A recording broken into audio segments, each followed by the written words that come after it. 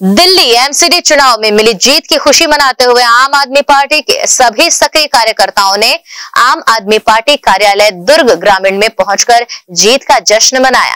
पटाखे फोड़े और एक दूसरे को मिठाइयाँ खिलाकर बधाइयाँ दी। आम आदमी पार्टी के दुर्ग ग्रामीण विधानसभा अध्यक्ष संजीत विश्वकर्मा ने एमसीडी में मिली जीत को लेकर कहा है कि हमें जनता का जनादेश मिला है। पंद्रह साल बीजेपी ने एमसीडी में राज किया। इसके बावजूद केंद्र में बीजेपी शासन होने के बाद भी दिल्ली की जनता ने समझ लिया कि विकास कार्य बीजेपी के बस की बात नहीं है। इसलिए पूर्ण बहुमत से जनता ने एमसीडी में आम आदमी पार्टी को सत्ता चलाने एवं मेयर बनाने का मौका दिया है।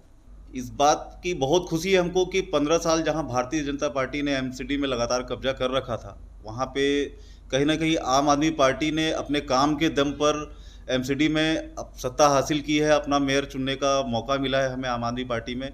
पूरे बहुमत से जनता ने आदेश दिया है, जनादेश मिला है हमें कि आप एमसीडी में आइए और सफ़ाई कीजिए। आगे चर्चा के दौरान गुजरात चुनाव में आम आदमी पार्टी को मिली करारी शिकस्त पर अपना बयान देते हुए दुर्ग ग्रामीण विधानसभा अध्यक्ष संजीत विश्वकर्मा ने गुजरात में मिली आंशिक जीत को भी बड़ी जीत बताया है। जी, कहीं चूक नहीं हुई है। मैं आपको स्पष्ट करना चाहूँगा इस बात को कि देखिए, गुजरात में हमें बहुत ही अच्छा जन समर्थन मिला है। आज हमें जितनी भी सीटें मिलती हैं, हमारे लिए संतोषजनक है। आज कहीं ना कहीं हम लोगों ने राष्ट्रीय पार्टी का एक दर्जा प्राप्त करने की ओर अग्रसित हो चुके हैं हम लोग और राष्ट्रीय पार्टी बनने के मौके पर भी हमें काफ़ी खुशी है। कहीं ना कहीं जनता को हम भरोसा दिला पाने में सफल तो रहे कि हमें 20-22 लाख लोगों से ऊपर लोगों ने हमें गुजरात में वोट किया है।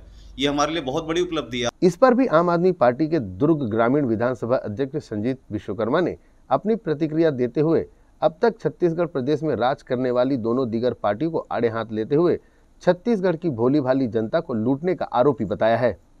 देखिए छत्तीसगढ़ में बेहतर स्थिति होगी और छत्तीसगढ़ की जनता काफ़ी हद तक जान चुकी है। यहाँ पे बीजेपी का कार्यकाल इन्होंने पंद्रह साल देखा है। अभी हाल में कांग्रेस का कार्यकाल देख रहे हैं। और छत्तीसगढ़ में तो कहा जाना चाहिए कि जिस तरीके से भारतीय जनता पार्टी और कांग्रेस ने लूट मचा रखा है, ये सबको पता है। और पंद्रह साल में भारतीय जनता पार्टी ने चौवालीस हज़ार करोड़ का लगभग कर्ज डाला हुआ था। अभी कांग्रेस ने इतनी दुर्गति कर रखी है छत्तीसगढ़ के अंदर कि इन्होंने मिला जुला कर एक लाख करोड़ से ऊपर का कर्ज छत्तीसगढ़ के ऊपर डाल दिया और विकल्प के रूप में देखा जाए तो आम आदमी पार्टी के सिवाय अभी कोई यहाँ पे है नहीं और हम यहाँ पूरी मेहनत से काम करेंगे। जनता का भी समर्थन बहुत बेहतर है हमको छत्तीसगढ़ में। और दुर्ग ग्रामीण की स्थिति मैं आपको बताऊँ तो हमारे दुर्ग ग्रामीण में सक्रिय सदस्यों की संख्या लगभग साढ़े छः हज़ार के पार हो चुकी है।